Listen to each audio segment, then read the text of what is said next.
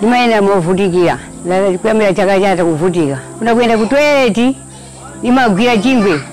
Kwenda nacho mpaka na chomwecho kuti.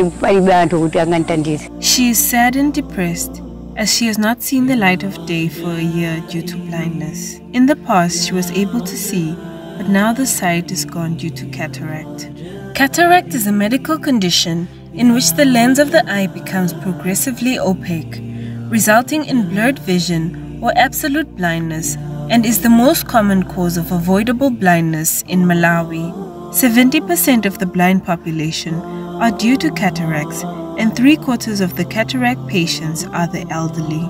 Paul Petros, an 85 year old man, has been blind for four years. Blindness abridged his ability to work and contribute to the family income. In Malawi, 90% of blind people are often led by a child.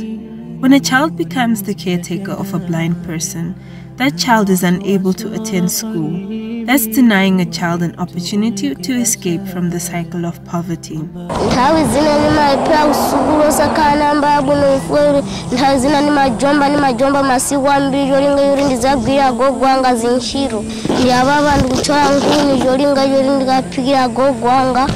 To help address the negative socio-economic impact that comes with the result of blindness, One Nation UK partnered with the Riders of Shaam and conducted sight restoration operations at Queen Elizabeth Central Hospital and Nsanje District Hospital.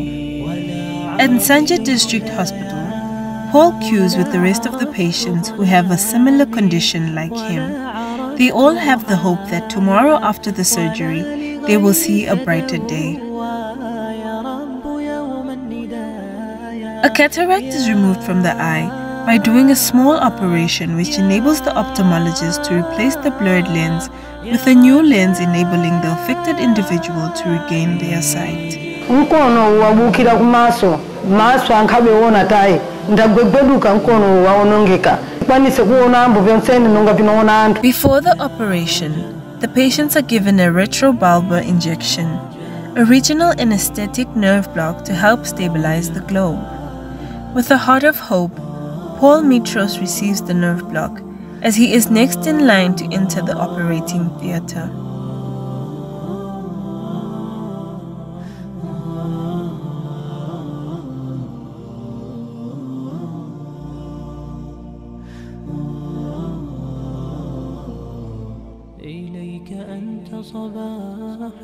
After a few minutes, the cataract is removed from his eyes. He will not be able to see today, but the next day after the surgery. A day after the surgery, all the patients who were operated on are anxiously waiting for the doctor to remove the bandages. After being blind for many years, some of these people cannot believe they can see, and some are excited after seeing again.